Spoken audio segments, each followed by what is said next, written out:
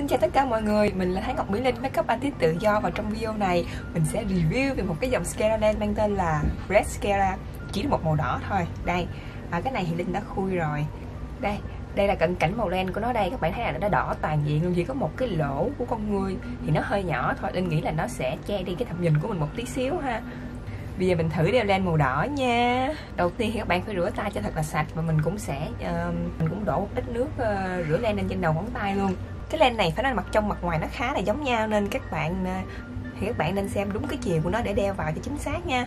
À mà ngoài cái màu đỏ này, nó cũng còn có nhiều màu đỏ rất là đẹp ở trên cái trang Facebook Skeraden Việt Nam. Các bạn có thể lên trên đó và xem mẫu nha. Và cũng đừng quên là đây có chương trình khuyến mãi 50% từ đây cho đến cuối tháng Halloween đó. Nhớ nha.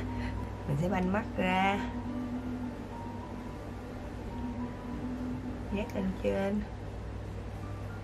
Ôi trời nhìn mắt mình giống như là bị chảy máu vậy đó mọi người. Ôi. Nhìn rất ư là kinh dị luôn á. Ôi.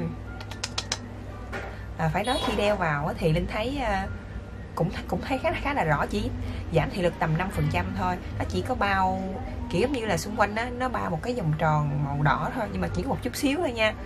Trời màu sắc lên rất là chuẩn rất là đẹp luôn á. Mình sẽ banh mắt ra.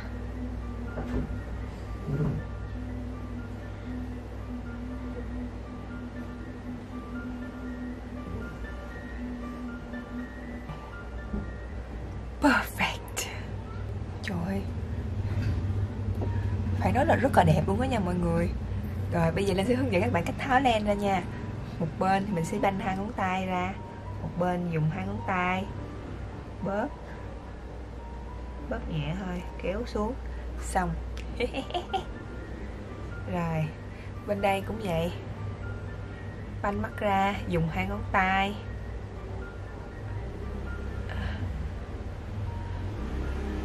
Bóp, kéo xuống xong không có tới một giây nữa đó mọi người. Hy vọng các bạn thích video này, đừng quên like, đăng ký kênh youtube của linh và follow tiktok mỹ linh, makeup của linh nhé. Bye bye!